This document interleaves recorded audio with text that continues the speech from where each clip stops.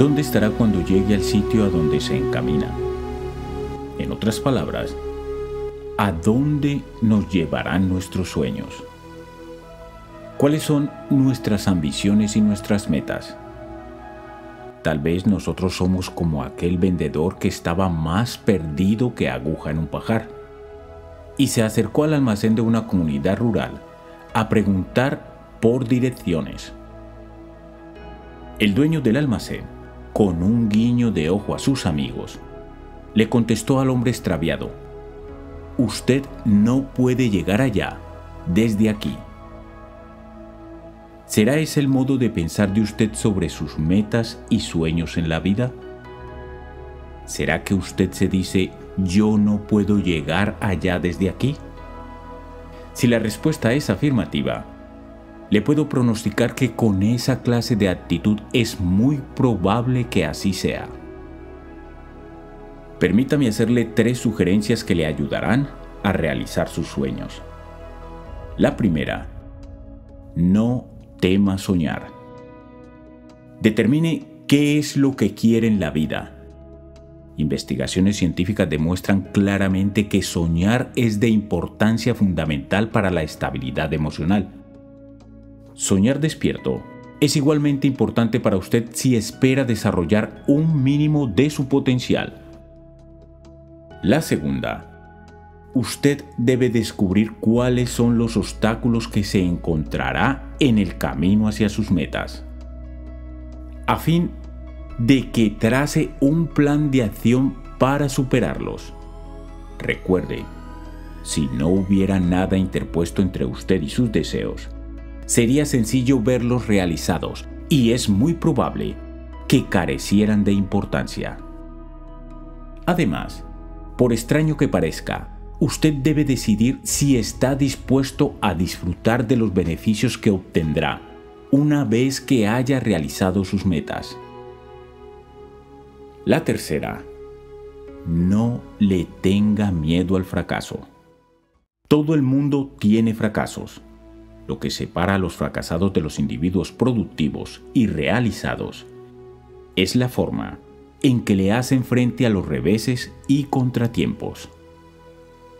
Feliz el hombre que sueña y está dispuesto a hacer lo que sea para realizar sus sueños. No le dé miedo comenzar el ascenso. Es muy probable que se encuentre con obstáculos, pero tiene más probabilidades de alcanzar la cima. Dedique un tiempo para imaginarse dónde se encontrará dentro de uno, cinco o diez años y analice lo que está haciendo para lograrlo. Si la gente se pudiera concentrar en sus metas con el mismo ahínco con que lo hace por sus preocupaciones, el éxito lo tendría asegurado. Ahora quiero que escuche, tome nota y se aprenda los siguientes 10 puntos esenciales para el éxito, elaborados por Marshall Field. Sé que usted como yo desea dejar su huella en esta vida una forma de ponerse seriamente en camino para lograr esa meta es adoptar las 10 guías para lograr el éxito, elaboradas por Marshall Field. Dicho sea de paso, que Marshall fue uno de los hombres de negocios de mayor éxito a escala mundial, de modo que sus observaciones son dignas de mayor credibilidad. Número 1. El valor del tiempo no lo desperdicie. Número 2. El valor de la perseverancia. Nunca se rinda. Número 3. El valor de trabajar duro. No sea perezoso. Número 4. La dignidad de la sencillez. No sea complicado. Número 5. El valor del carácter no sea deshonesto. Número 6. El poder de la bondad. No sea desalmado. Número 7. El llamado del deber. No sea irresponsable. Número 8. La sabiduría del ahorro. No sea derrochador. Número 9. La virtud de la paciencia no sea impaciente. Número 10. El mejoramiento de las destrezas. No deje de practicar. Me gustan estas guías. Le caen de sorpresa a muchos porque son muy obvias y simples. El éxito no es complicado. Sus acciones están controladas por sus pensamientos y sus pensamientos están controlados por lo que usted constantemente le inyecte a su mente o deje que le inyecten. Repase los 10 pasos mencionados anteriormente cuando le sea posible. El beneficio que estos le pueden brindar es incalculable. Algunos hombres triunfan porque están destinados a ello, pero la mayor parte de los hombres triunfan porque están resueltos a ello. No hay futuro en ningún cargo, en ningún trabajo. El futuro está en las manos de la persona que desempeña el trabajo. Doctor George W. Crane. Paul Joseph Weiss, el comandante del primer vuelo del Challenger, dijo, Fue aterrador para mí ver cuán sucia se está volviendo nuestra atmósfera. Por desgracia, la Tierra se está convirtiendo en un planeta gris. Nuestro medio ambiente se está deteriorando. ¿Cuál es el mensaje? Estamos ensuciando nuestro propio nido. Esa es una noticia aterradora. El hombre está destruyendo su propio hogar. Es hora de que comencemos a hacer una limpieza antes de que sea muy tarde. Pero también hay otra área que requiere nuestra especial atención. Esta área está situada entre nuestras orejas, pero no se trata de nuestra cara. Me refiero a nuestra mente y a la suciedad que ella absorbe. Estamos expuestos a una gran cantidad de información y la mayoría de esta solo contamina nuestra mente, afectando de mala manera nuestra forma de pensar. La buena noticia es que tenemos la capacidad de hacer algo al respecto inmediatamente. El peligro aterrador está en la forma en que esos estímulos negativos afectan a nuestros pensamientos, actitudes, metas y acciones. ¿Y cómo nos afectan? Nos convertimos en lo que pensamos y pensamos en lo que dejamos que entre en nuestras mentes por voluntad propia o por conducto de los demás. Si tenemos amigos positivos y recibimos información positiva, con toda seguridad nuestras vidas van en trayectoria ascendente. William James dijo, el descubrimiento más trascendental de mi generación es que el ser humano puede cambiar el rumbo de su vida si cambia las actitudes de su mente. Si usted se da a la tarea de eliminar de su mente todo aquello que usted crea que puede contaminarla, tenga la seguridad de que su vida será mucho más satisfactoria. Esté alerta y sea consciente de todo lo que penetre en su mente y haga todo lo posible por darle paso solo a aquello que usted considere bueno, limpio, puro, poderoso y positivo. La mayoría de las personas siempre intentamos influir en los demás, pero ¿cómo lo hacemos? Se ha dicho una y mil veces que el ejemplo es la mejor enseñanza. Benjamin Franklin creía en ese aforismo. Él sabía que la ciudad de Filadelfia necesitaba alumbrado público, pero también sabía que un ejemplo sería mucho más convincente que una discusión. Con esto en mente, se le ocurrió una idea luminosa para persuadir a sus vecinos de que el alumbrado callejero era imperativo. Colgó un bello farol a la entrada de su casa y mantenía sus cristales o vidrios de ventanas y puertas bien brillados y la mecha cuidadosamente recortada. Al poco tiempo, los vecinos de Franklin hicieron lo mismo. Algún tiempo después, los ciudadanos de Filadelfia estaban dispuestos a iluminar las calles de su ciudad. Ni siquiera los discursos más elocuentes de Franklin tuvieron el poder de persuasión de su ejemplo. Eso me lleva a formular esta pregunta. en qué forma trata usted de influir en los demás. ¿Por medio de la intimidación? ¿Arrollándolos para que acepten sus puntos de vista? Si es así, es muy probable que usted no tenga éxito a menudo y cuando sí lo ha tenido, probablemente haya dejado una secuela de destrucción y de sentimientos amargos. De ejemplo de primera orden, teniendo en cuenta que alguien o quizás una persona realmente importante para usted está observando y aprendiendo de lo que usted hace. No se echan los cimientos del carácter con sermones, sino con ladrillos de buen ejemplo puestos día tras día Leo B. Blessing. Se jugaba el abierto de tenis de Francia en la ciudad de París.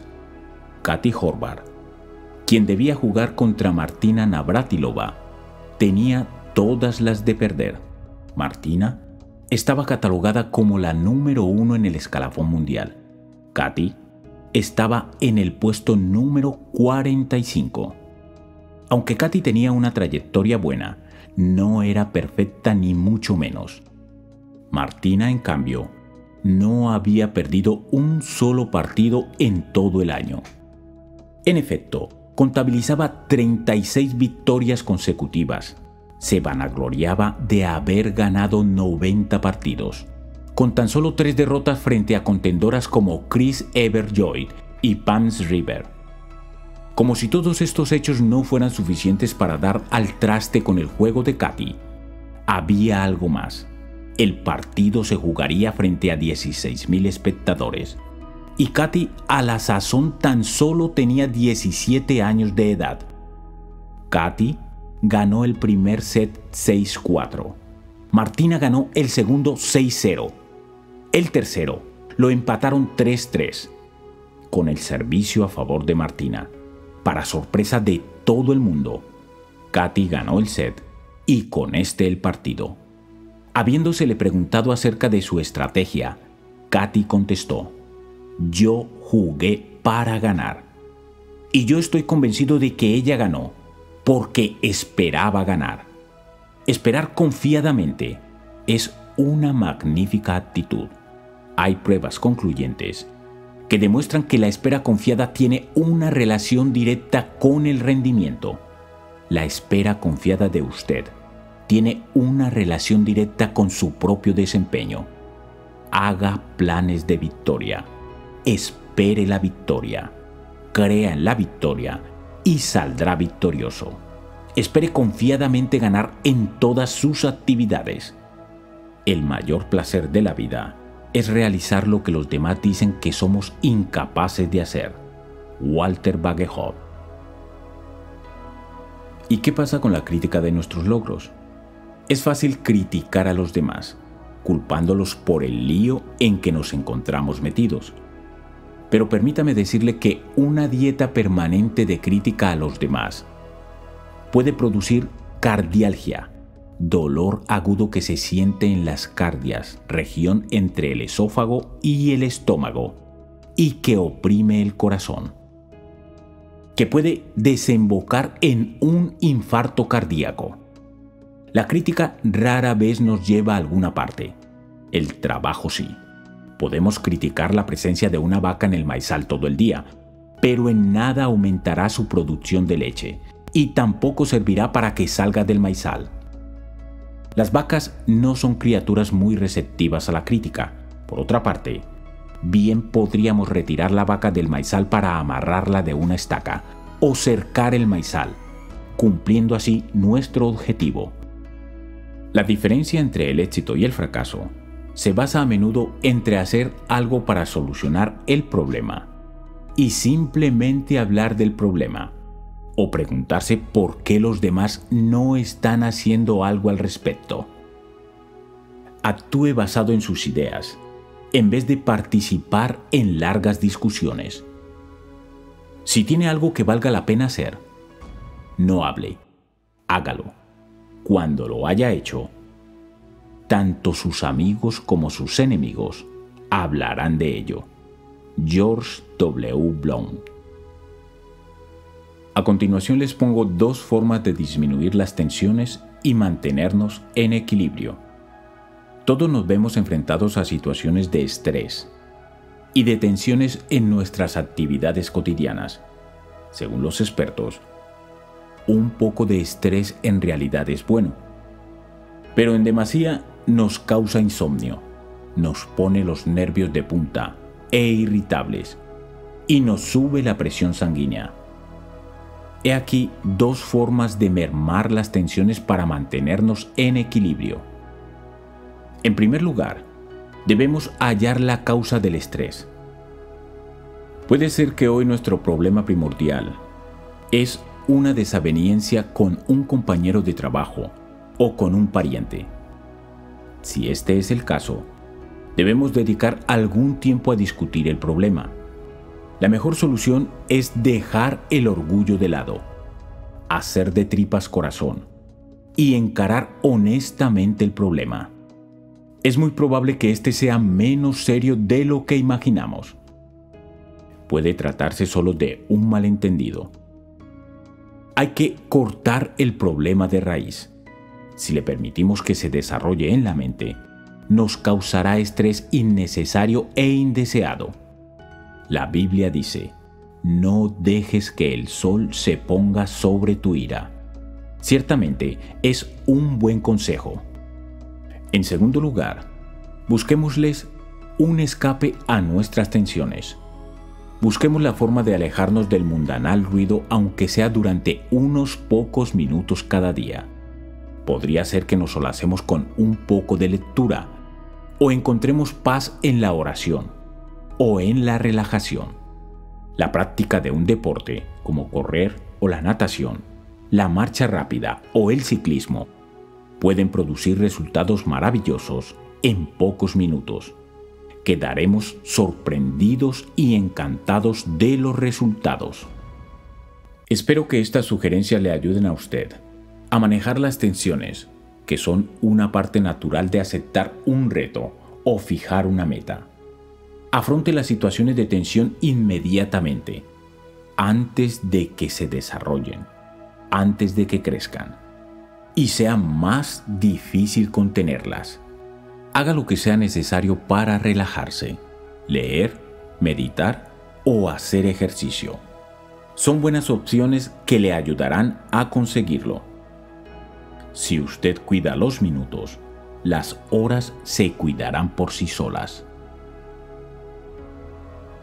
Veamos ahora algunas características y formas en las que usted puede mejorar su vida, sus relaciones y que harán que se le presenten mejores oportunidades. En primer lugar, está la potencialidad. Trabaje en aumentar su capacidad de producir cada vez más y mejores resultados en su vida y la de los de aquellos que lo rodean. La potencialidad sus capacidades.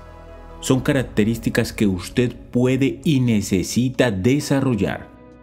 Recuerde, modificamos los efectos, los resultados, cuando trabajamos sobre las causas, aquello que lo produce. Usted debe desarrollar la habilidad o destreza de hacer más y mejor. Y si quiere motivar a otros a que también lo hagan, no debe olvidar que el ejemplo, la demostración con hechos, siempre da mejor resultado que los sermones. En segundo lugar, sea objetivo y aprenda a desprenderse de su ego y emociones, sobre todo cuando esté discutiendo temas en los que se deben tomar decisiones.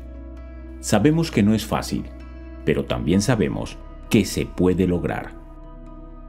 Tercero, desarrolle la autodisciplina. Debe desarrollar la capacidad de hacer las cosas que sabe que tiene que hacer, cuando deba hacerlas y en el tiempo que requieran.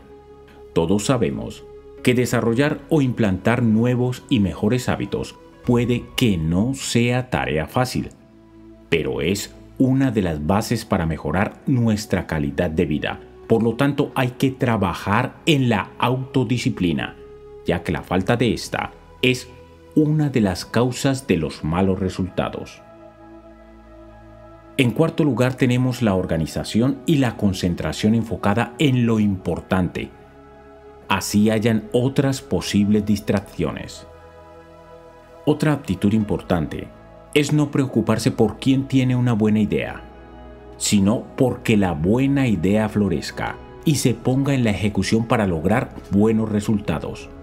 Por último, pero no menos importante, rodéese de personas con más talento y habilidad que usted. No es necesario que lo haga personalmente. Recuerde que existen muchas tecnologías que le pueden ayudar a acercarse a esas personas. Aprenda más y obtendrá más. Una forma en que usted puede aumentar sus posibilidades de éxito es volviéndose experto en un área particular de conocimiento o habilidad. Día a día, tenemos a nuestra disposición nuevos conocimientos a través del campo siempre creciente de los medios electrónicos.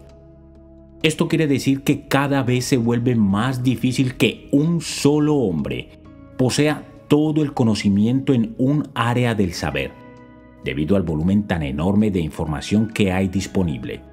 Por tanto, usted puede volverse más útil para su familia, para su comunidad o para su empresa, volviéndose experto en un área particular importante. Por ejemplo, es posible que usted se encuentre trabajando en bienes raíces. En este negocio los cambios en las modalidades de financiación son tan acelerados que es imposible que una sola persona se mantenga al tanto de todo. Escoja usted un área que le interese y que sea de vital importancia para usted. Procure investigarla desde todo punto de vista. Lea revistas especializadas, libros asequibles sobre el tema, escuche audios, vea vídeos, dialogue con personas especializadas sobre el tema y conviértase en una persona hábil para tomar decisiones en el campo seleccionado y con un gran depósito de información. Haga saber lo que usted está haciendo y comparta su información. Este mayor conocimiento le ayudará a ser más competente y a desempeñar sus actividades con mayor habilidad y calidad. Al especializarse en una rama, y compartir información sobre lo que usted sabe, lo que está usted haciendo es volviéndose más eficiente y facilitando su trabajo. Recuerde que usted puede lograr todo lo que quiera de la vida si le ayuda a un suficiente número de personas a obtener lo que ellas quieren. Ahora hablemos sobre el miedo. ¿Qué pasa con el miedo? ¿Cuáles son los resultados si usted se sobrepone al miedo? El éxito o el fracaso pueden volverse un hábito en la vida de todos nosotros. Es incuestionable que muchas personas nunca triunfan porque le tienen tanto miedo al fracaso que ni siquiera suelen hacer el intento.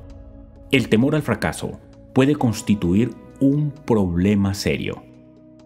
Las siguientes sugerencias para sobreponerse al temor y al fracaso podrán ayudarle a liberarse emocionalmente para que trate honestamente de triunfar.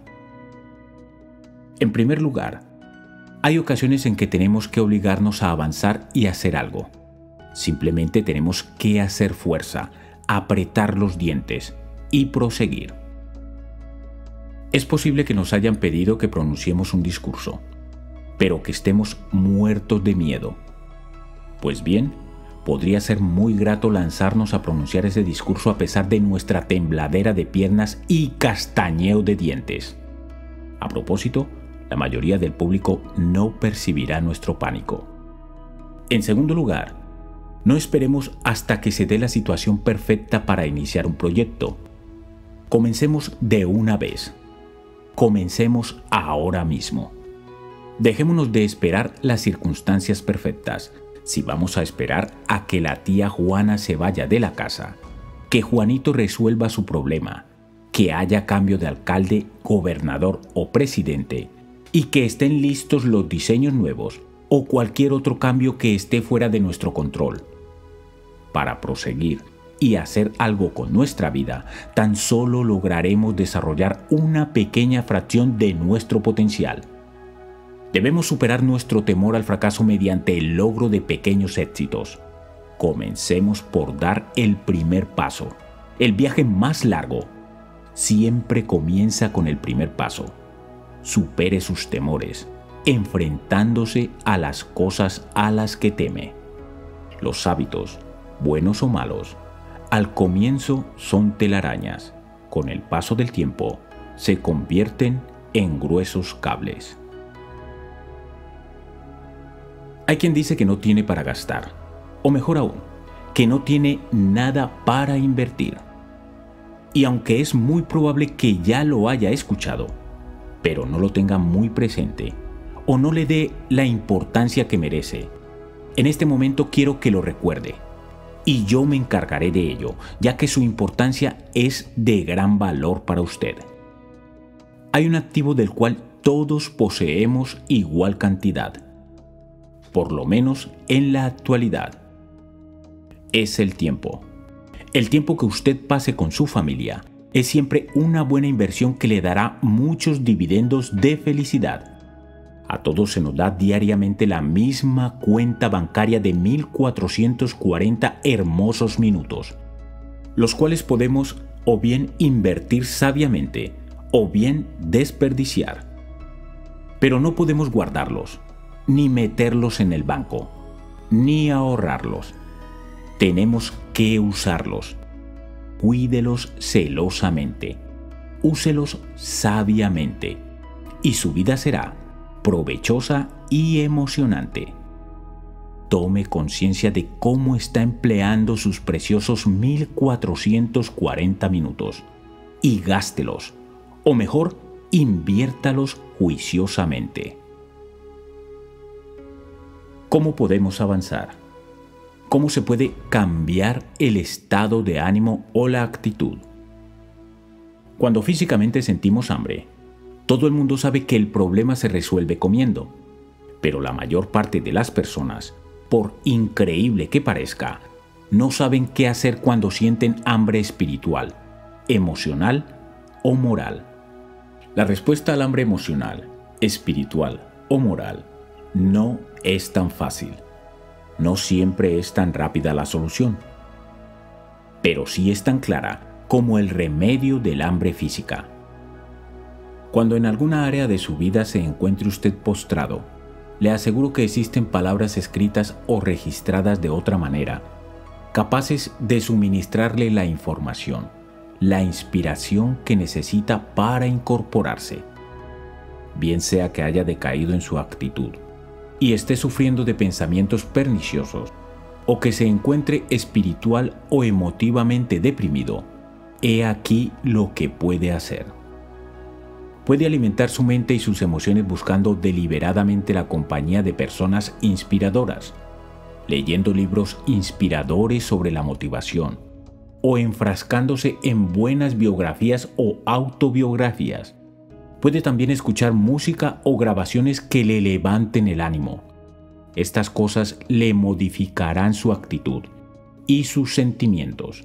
Y eso significa que cambiarán su eficiencia y su productividad. El mensaje es claro. Al cambiar la información de entrada, cambiará usted el resultado. Escuche, vea o lea por lo menos 30 minutos de algo instructivo o inspirador y compártalo con aquellas personas a las que usted crea les pueda servir. El que sabe escuchar no solo es popular en todas partes, sino que con el tiempo algo aprende. Wilson Misner. Usted puede ser el número uno. Estoy personalmente convencido de que todos pueden ser número uno. Aclaremos una cosa yo no estoy diciendo que usted o que cualquier individuo pueda ser el más grande, el más veloz, el más fuerte, ni el más inteligente, pero sí que usted puede ser número uno. Le diré cómo. Empiece cada día de su vida mirándose al espejo y diciéndose, hoy voy a hacer lo mejor que pueda en cualquier cosa que emprenda. Y luego proceda a hacerlo así si al final del día puede mirarse otra vez a la cara y decir, hoy he hecho lo mejor que podía, entonces, amigo mío, será usted número uno para la persona más importante del mundo en la que a su felicidad y a su éxito se refiere, usted mismo.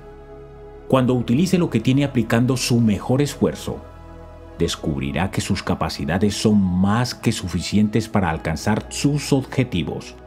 Descubrirá igualmente que cuanto más use de lo que tiene, más se le dará para lo que use. No puedo, nunca logró cosa alguna. Trataré de hacerlo. Alguna vez ha realizado algo. Lo voy a hacer. Siempre ha conseguido más que los anteriores.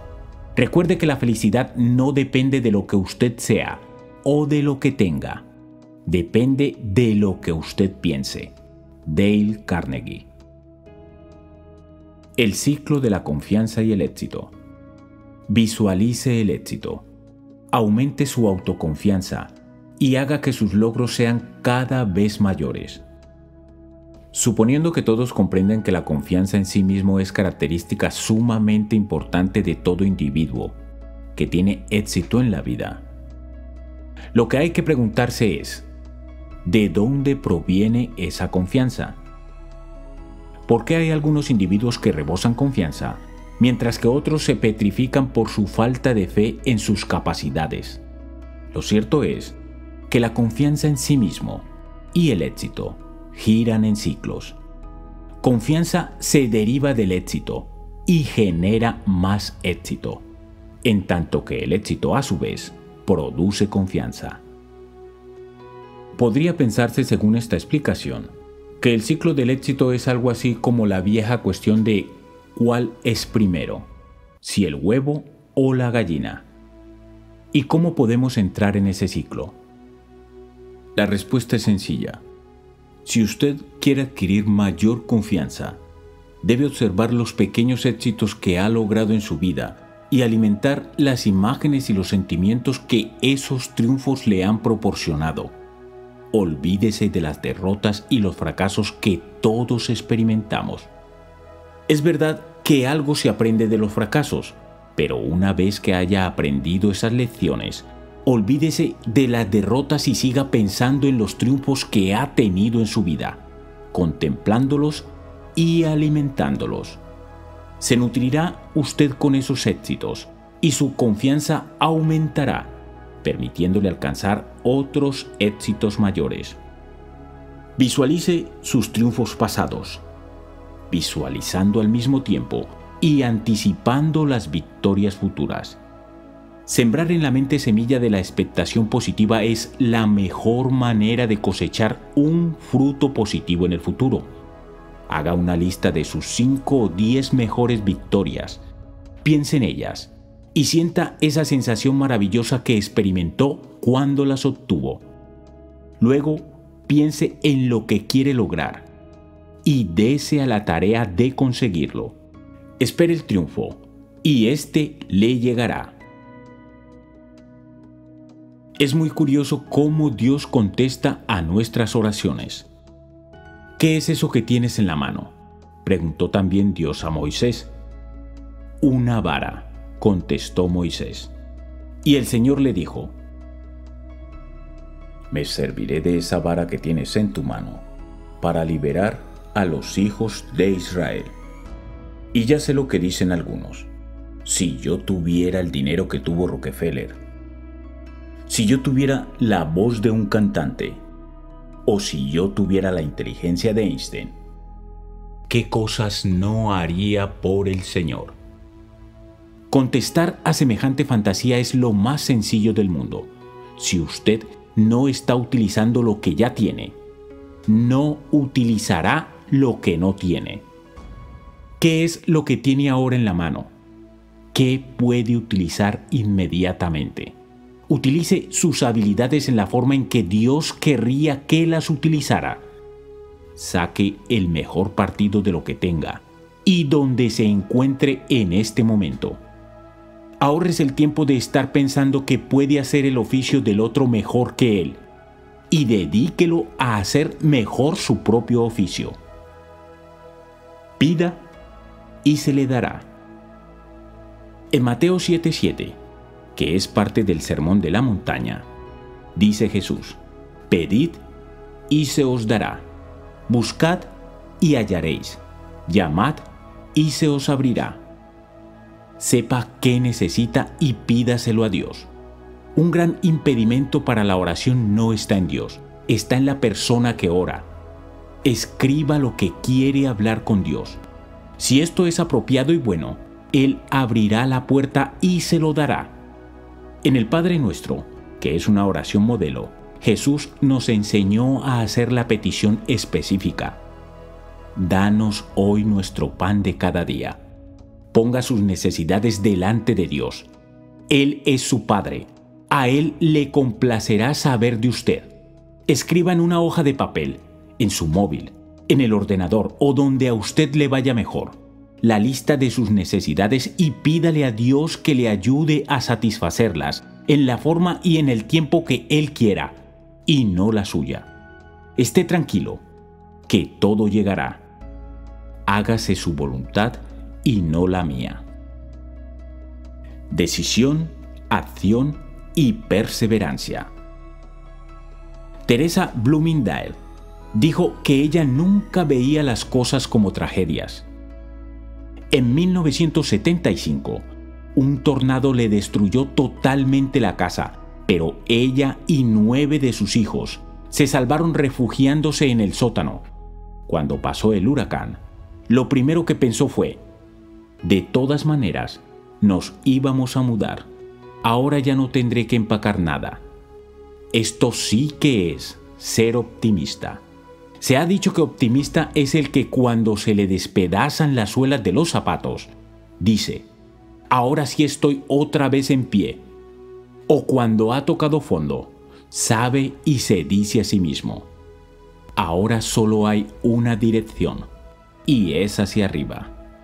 Así es como pensaba Teresa Bloomingdale resolvió empezar a escribir como profesional cuando tenía 42 años de edad y sus 10 hijos fluctuaban entre los 2 y los 14 años. Recordaba y decía, en casa tenía tres hijos en edad de preescolar y dos perros. Escribía en la mesa del comedor con el bebé en las rodillas y otro que apenas gateaba entre mis piernas, porque si le soltaba, me desmantelaba la casa. Teresa escribía en cualquier momento libre. Después de muchos rechazos, vendió su primer artículo por 10 dólares. Solo utilizaron un párrafo de las 3.000 palabras que contenía su colaboración, pero siguió escribiendo. En 1977 apareció su primer libro. En 1982 la aceptaron como colaboradora de la revista Callis. Y al poco tiempo la editorial Doubleday firmó con ella un contrato por valor de 250 mil dólares. Teresa no podía detener un tornado, pero el tornado tampoco pudo detener el optimismo para triunfar de Teresa Bloomingdale. De pasos por pequeños que sean. Actúe. Tenga la seguridad de que estos le conducirán hacia sus metas. Nunca se desespere pero si por alguna razón no puede evitarlo, trabaje como un desesperado. Edmund Burke. Visión, superación, vencer los obstáculos. David W. Harman, de Filadelfia, se quedó ciego a los 8 años de edad. Quería ser médico, pero cuando solicitó la admisión en la escuela de medicina de la Universidad de Temple, le dijeron que ninguna persona privada de visión había hecho nunca el curso. David resolvió intentarlo. Se matriculó en la facultad en Temple e inmediatamente se le presentó un obstáculo que parecía insuperable. Los libros de texto. No habían libros de medicina en braille, sistema de signos que emplean los ciegos para leer y escribir, porque nunca hubo necesidad de ellos. Evidentemente hacer textos en braille para un solo estudiante no era factible desde el punto de vista económico. Entonces David apeló a la organización de grabaciones para ciegos y consiguió que le grabaran más de 25 textos completos para su uso personal. A la edad de 27 años, David W. Harman se graduó como médico, siendo el primer ciego que terminaba el curso en la escuela de medicina. Ocurre con mucha frecuencia que nuestras metas son demasiado bajas, nuestro pensamiento muy negativo, nuestra visión muy limitada ¿Qué busca usted realmente en la vida? ¿Es su meta o su ideal tan imposible como ese niño ciego de 8 años que quería llegar a ser médico y lo logró? Aparte sus limitaciones impuestas por el pensamiento destructivo, fije su puntería y apunte más alto. Mientras no ensayes, mientras no pruebes, no sabrás de cuánto eres capaz. Ten fe en ti mismo. Lo que piensen los demás no importa. Ralph Waldo Emerson. Aquí tienes un ejemplo de cómo llegar a ser aquello que quieres ser. Escribió durante nueve años antes de que una editora aceptara uno de sus libros o una revista tomara uno de sus artículos. Era George Bernard Shaw y nunca se desanimó. Por eso llegó a ser uno de los escritores más grandes del mundo. Si usted ha escuchado uno de mis audios anteriores, sabrá que soy muy entusiasta de la perseverancia. En la mayoría de los audios, intento hacer recordar la importancia de perseverar. Me temo que en nuestra sociedad mucho nos hemos acostumbrado a lo instantáneo. Tenemos puré de patatas, fideos, pollo instantáneo té y café instantáneos y muchas cosas más. Además de todo esto, esperamos alcanzar el éxito instantáneo. Pero difícilmente, por no decir imposible, será ese el caso. El que quiera triunfar en la vida tiene que aprender a perseverar. ¿Y de qué manera puede hacerlo? No se puede condensar fácilmente en una simple afirmación pero de una cosa puede estar seguro, y es que tiene que definir su propósito. Solo los que saben exactamente a dónde van y por qué quieren llegar allí pueden seguir levantándose después de las caídas y ensayando una y otra vez. George Bernard Shaw tenía un propósito definido y por eso siguió luchando nueve años enteros antes de ver su obra publicada. Decida lo que quiere. Decida cuánto está dispuesto a dar en cambio. Fije sus prioridades y manos a la obra. H. L. Hunt. Un estudio reciente muestra que darse por vencido es un hábito adquirido. Se puede aprender a ser perseverante o constante, tan fácilmente como se aprende a darse por vencido. Biólogos y psicólogos han estado realizando experimentos que confirman cuán poderosamente puede nuestra actitud mental afectar el resultado de nuestra vida. En la Universidad de John Hopkins, los investigadores han descubierto que animales de laboratorio pueden aprender a darse por vencidos. Si un ratón se mantiene en la mano con tanta firmeza que por más que se esfuerce no puede escapar, abandonará la lucha contra lo imposible si después se le echa un tanque de agua, no hará ningún esfuerzo por nadar a la orilla. Ha aprendido a darse por vencido. Aunque los seres humanos no somos ciertamente ratones, podemos escoger nuestros hábitos de vida. Afortunadamente, podemos hacer una elección optimista, de responsabilidad y esperanza. Podemos desarrollar el hábito de no darnos por vencidos, podemos programar nuestra mente y nuestro corazón para que sigan siempre adelante, luchando contra la duda, el dolor y el miedo. Con ese proceso podemos vencer obstáculos en apariencia insuperables. En realidad, uno de los principales mensajes que yo deseo transmitirle es aguante, siga perseverando, que al final verá sus metas realizadas. El genio no es más que el poder de hacer esfuerzos continuos. Y el que reina dentro de sí mismo y domina las pasiones, los deseos y los temores, es más que un rey. Es imposible triunfar sin nuestras decisiones a medias, porque entonces cuando la situación se ponga dura, nos faltará aquel esfuerzo extra que es indispensable para el éxito. Cuando uno hace las cosas con desánimo, o solo en parte, les da muchas vueltas, o apenas las toca superficialmente, el resultado inevitable es el fracaso. En el juego del éxito y la felicidad es todo o nada. El compromiso total es la clave del éxito. Así pues, comprométase a fondo. La diferencia entre el éxito y el fracaso suele ser la diferencia entre el esfuerzo a medias y el compromiso total. Reconozca que el compromiso total es la clave principal para alcanzar sus metas. La suerte es el talento de reconocer una oportunidad y la capacidad de aprovecharla. Ahora, si usted se encuentra en el tramo de edad de los 50 en adelante, también debe comprender que tiene por delante sus años de mayor creatividad aunque usted se vea obligado a jubilarse de un oficio, tiene a su favor mucha sabiduría y experiencia que se necesitan en el mercado. Persista, amigo amiga. Lo mejor está por venir. La edad no debería ser el apelar a la cirugía facial, sino enseñar al mundo las arrugas como los surcos de la experiencia y las líneas firmes del carácter y sabiduría. Ralph Barton Perry.